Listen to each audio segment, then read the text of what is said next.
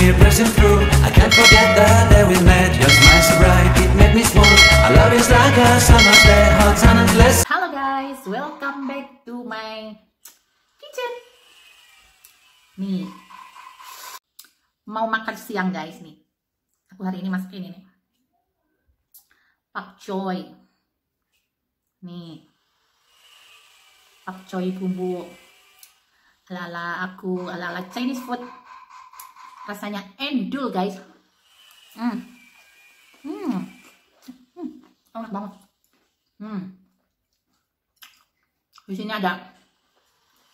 Duh, tanganku sakit.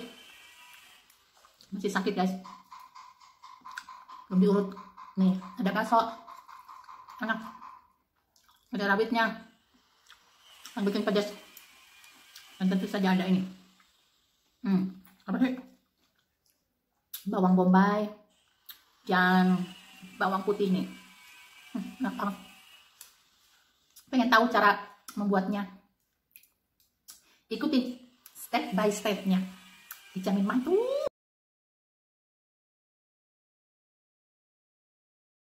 siap ini bahan-bahannya. Oke, kita sebutkan satu persatu. Karena perutku sudah keloncongan dan cacing-cacing mulai protes. Oke, di sini sudah aku siapin nih. 300 gram pakcoy, 20 buah cabai rawit, 1 buah bawang bombay, kemudian 10 siung bawang putih, 6 buah bakso sapi. Dan di sini juga sudah aku siapin bumbu-bumbunya juga.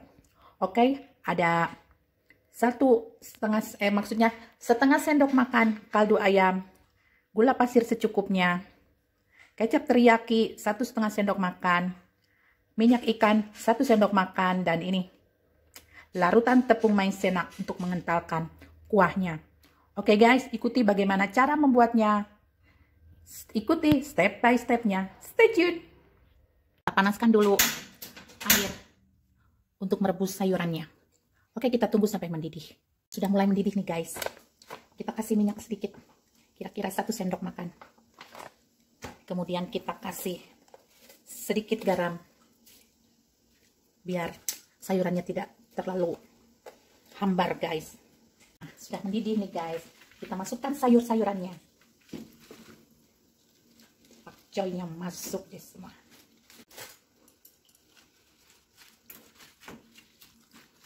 biarkan matang dan layu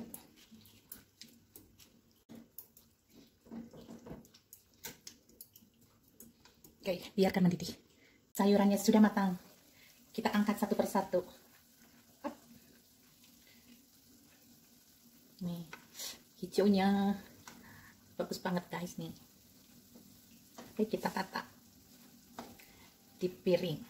Guys kita buat bumbu-bumbunya.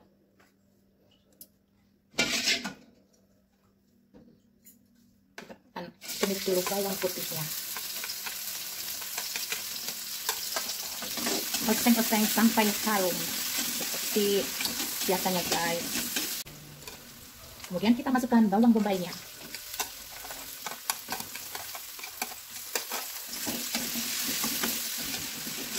kita aduk-aduk sampai harum.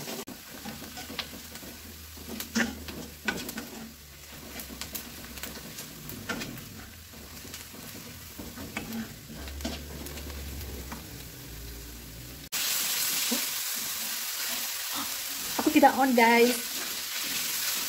Setelah bawang tadi matang kita masukkan ini bakso sama uh, apa cabai rawitnya.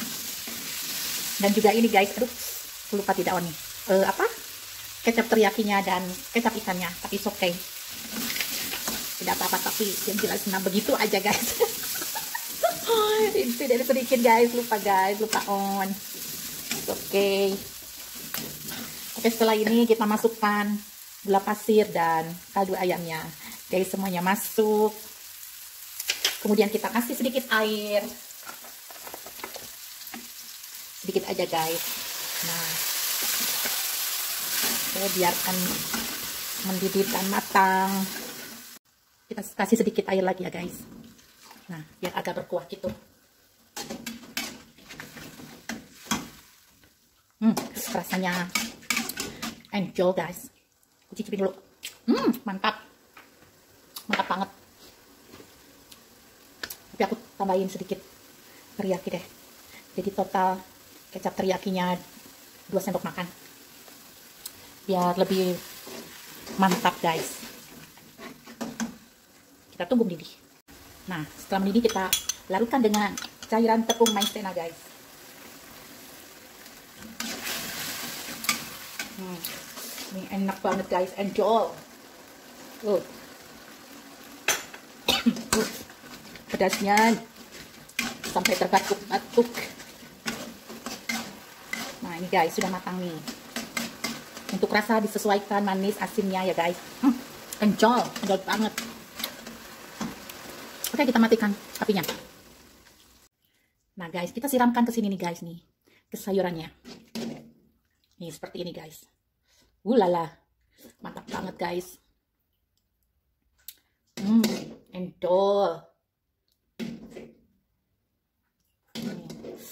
Rasanya pedas ada manisnya ada gurihnya. Dimakan dengan nasi hangat. Hmm. nah seperti ini guys.